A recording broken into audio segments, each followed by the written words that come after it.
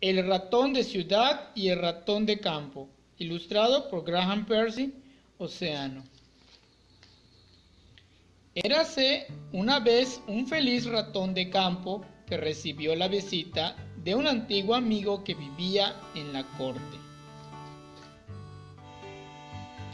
Para obsequiar a su invitado, el ratón de campo le ofreció sus mejores quesos y su tocino más delicioso. Además, le sirvió maíz tierno y pan recién hecho. Y para que bebiera, le trajo agua fresca y cristalina del arroyo de un bosque cercano. Después de aquella deliciosa comida, los dos ratones se sentaron junto a la chimenea a charlar un rato. Logro comprender, dijo ratón de ciudad.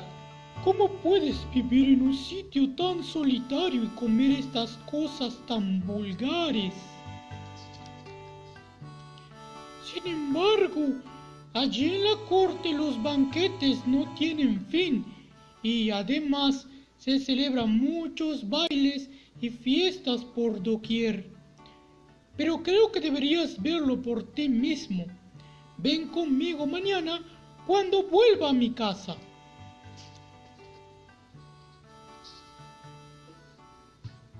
Bien, contestó el ratón de campo. Lo pensaré detenidamente esta noche y mañana te diré lo que he decidido. A la mañana siguiente, muy temprano, el ratón de campo fue a llevarle el desayuno a su amigo. Buenos días, le dijo. He pensado bien lo que me propusiste y no es mala idea. Iré contigo.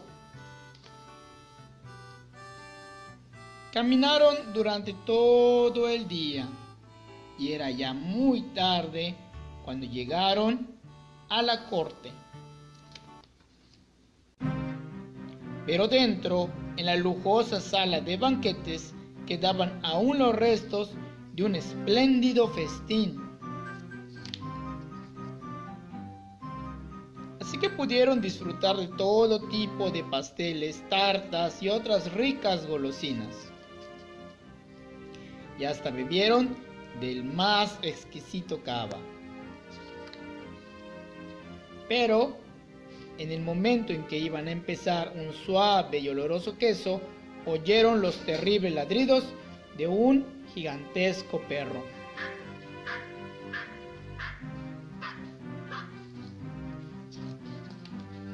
Y aún fue peor cuando de pronto escucharon aterrorizados el maullido de un gato.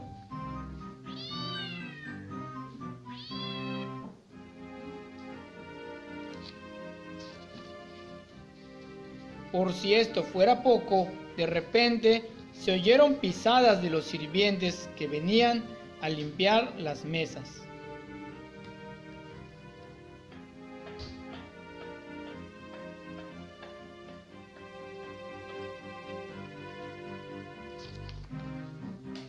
De un brinco el ratón de la corte corrió a esconderse en su agujero, sin ni tan siquiera acordarse de su amigo el ratón de campo, que, muerto de miedo, fue corriendo a esconderse detrás de la borla de una cortina.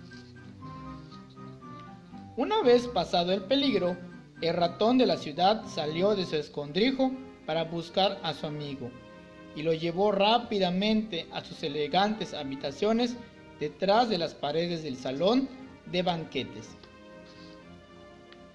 Una vez allí, el ratón de campo dijo, serena pero firmemente, Si estos ricos manjares y esta vida tan fastuosa son siempre interrumpidos por sobresaltos tan desagradables y peligros como los que hemos pasado, entonces prefiero volver a mi comida vulgar y a mi pequeña casita en medio de la paz y el sosiego del campo.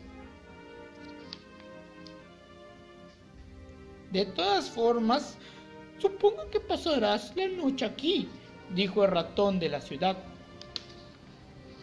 No, gracias. Ya he tenido bastante. contestó el ratón de campo mientras se deslizaba por la hierba del tejado hasta el patio del palacio. Rápidamente y en silencio dejó atrás las brillantes y enormes botas de los guardias y, deslizándose bajo las grandes puertas de hierro, se perdió en la noche. Y no paró de correr hasta que llegó a su casita en el campo. Amanecía y estaba todo muy tranquilo. Qué feliz se sentía el ratón de estar en casa de nuevo. Y suspiró feliz. Hogar, dulce hogar. Fin.